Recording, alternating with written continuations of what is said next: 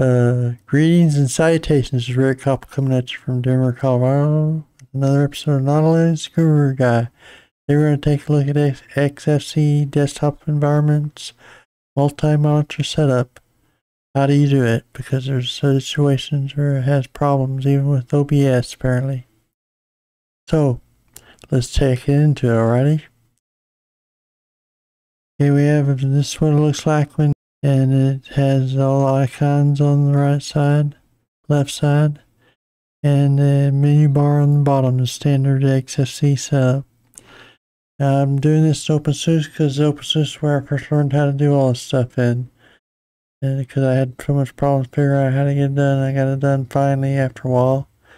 Found enough pieces of puzzle to figure this out. So anyway, that's what I'm doing here today. I'm going to show you how to set it up what happens is when you plug it in, the HDMI cable, you have problems.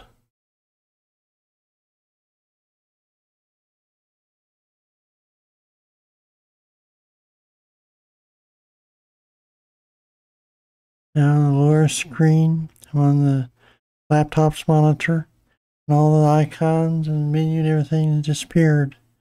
Actually moved up to the upper to the uh, monitor number two, the Acer monitor. You want to by. Actually, up here in the on the extended monitor setup. Now, why XFCE does this, I don't know. It seems like it's a complication. They say it's because uh, it treats the whole uh, multi-monitor setup as one giant screen or something. So why puts up there? I don't know. Weird. So anyway, that's where you had it. And it's, you know, it extends, extending to the left of the primary. Hey, when you're extending to the right, it extends. I don't know how it knows this, but extends this to the right. So it makes its primary monitor and puts everything there and it puts a blank over here on the on the extended monitor. So anyway, regardless of why it does it, it does it. And so I need to figure out how to move everything back where it should be. So I like to have my uh, monitors underneath one another, instead to the right and left of each other. So that's what I do. So display settings. I take my laptop monitor.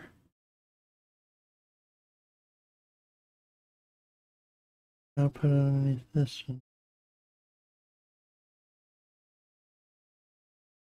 Usually when, on default, whenever you plug in monitor node, there's no primary display connected. So I, I will put this as primary display for future reference because that's what I'm going to do. Click apply. I remember I did this because it's important later on. You uh, right click on it your panel, panel preferences. You can click, the panel by clicking on this lock panel, clear, clear it. Yes, when you do, little gripper things appear on the end of it. Right there, around this end. You grab those, you move wherever you want, wherever you want to move it to. To the way on the monitor. But we're to leave it there for the time being.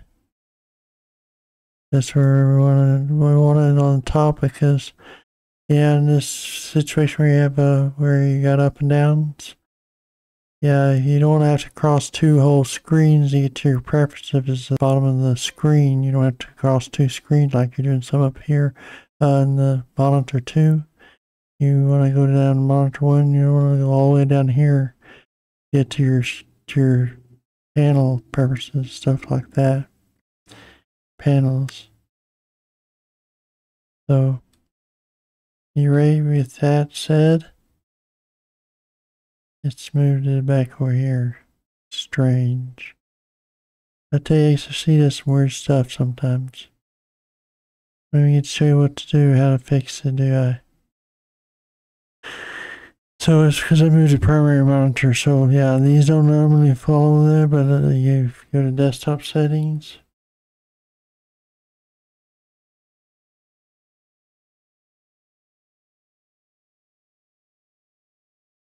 Your icons. Yeah, so if they don't move first time when you switch to primary, you click this here and it'll say show prime show icons on primary display. And since you made the laptop primary display, it's going to show them there. Ready? You can select here which ones you want on there, if any. You can turn them all off, whichever one you want.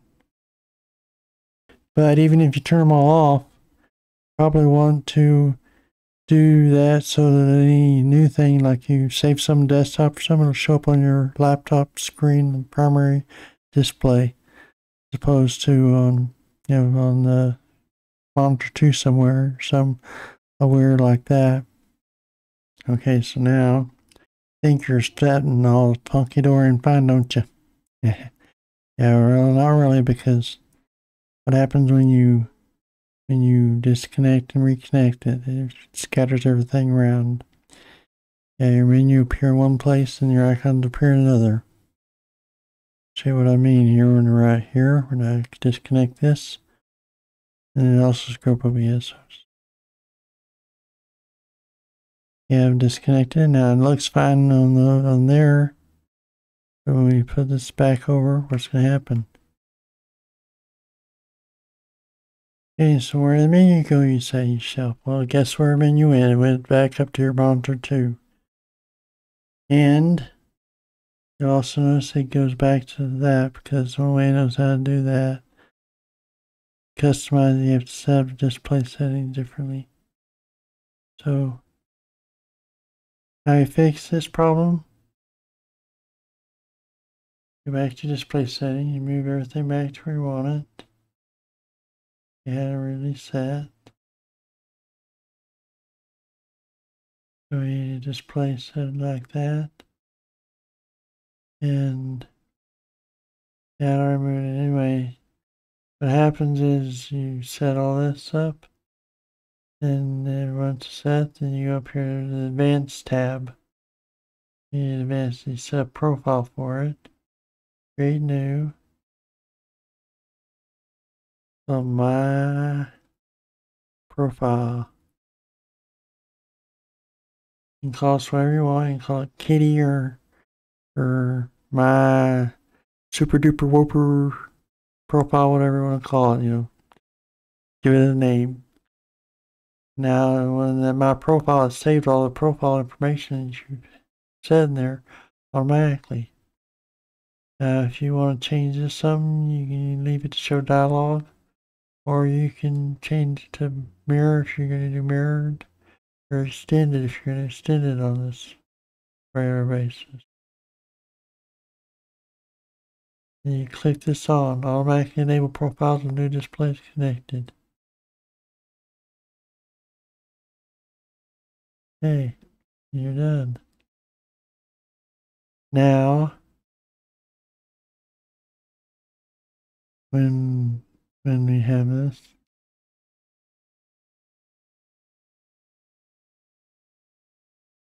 now when we have this set up over there, unplug plug it in and it should plug back in. It should show everything as it was before, just like this without changing anything. Okay.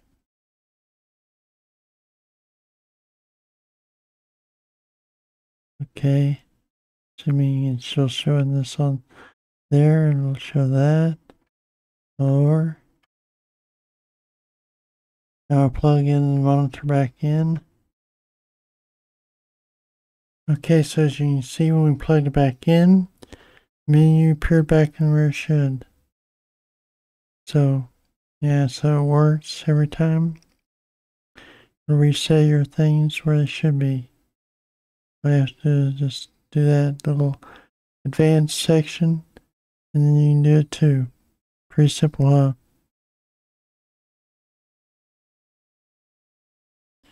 So, that's how to fix XFCE's multi-function menu. Hopefully I can piece this together so it's not too hard to understand. Yeah, OBS, it screws up OBS too, so I had to fig figure out how to work that. So I showed everything. Hope you like this video and hope it's helpful for you. Subscribe if you have a mind to and like the video and all that good stuff. We'll see you in the next one. Till next time, remember, may the Linux Force be with you. Bye.